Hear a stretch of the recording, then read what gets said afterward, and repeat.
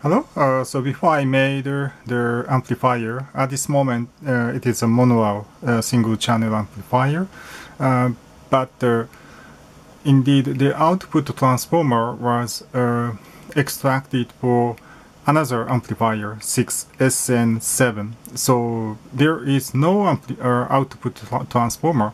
And this time I made the output transformer by using this Chinese Autotrans uh, originally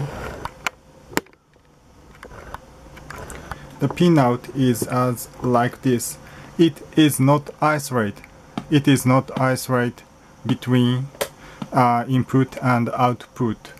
Uh, as you see uh, it has a multi step uh, transformer auto transformer but it is it doesn't isolate so in many cases the plate voltage is applied through the transformer. So by using this uh, uh, naturally the speaker will burn out uh, or we have to insert some capacitor to isolate DC but uh, indeed if we cut down the pin between 2 and 3 and uh, by using the output for the pin 1 and 2 as an output and the less port, less pins can be input, uh, it, utilized as an input.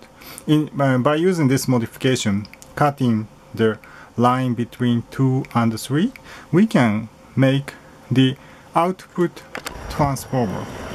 Indeed, by this idea, I check the work uh, operation and it is working well. Now let's see how it works. I'll switch on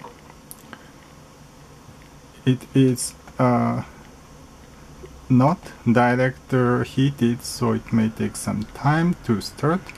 Okay.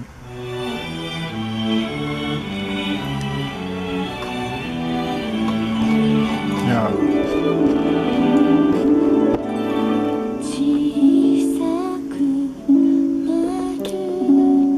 Yeah this sound is generated by 14GW8 with this modified output transformer. I think it is enough. Have fun!